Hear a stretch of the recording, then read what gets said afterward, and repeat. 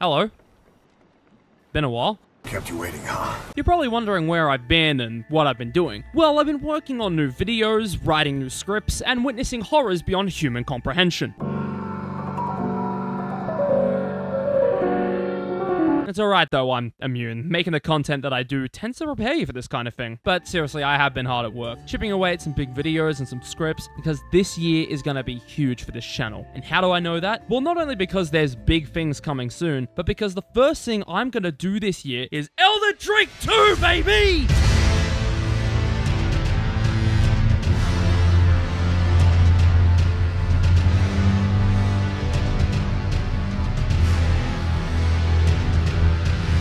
That's right, I'm bringing it back and torturing myself for your entertainment. I've been secretly gearing up and getting my ass beat, all while adding new punishments to the wheel. And speaking of torturing myself, I have not leveled up Jonathan at all. So for the entire time I've been preparing all this shit, I've still been incredibly underpowered.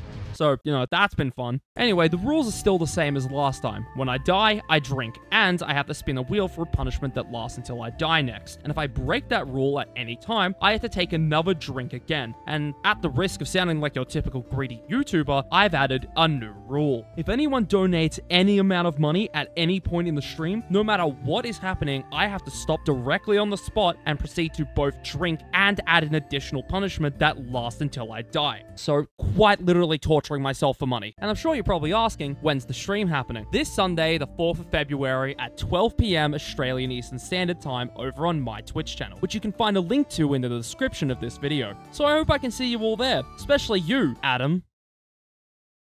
Anyway, I've got some big plans for content this year, and I'm going to work my ass off to make sure I provide as many banger videos as I possibly can. And after Sunday stream, I'll be getting back into streaming semi-regularly again, so feel free to come along when you can. But until then, I'll see you around.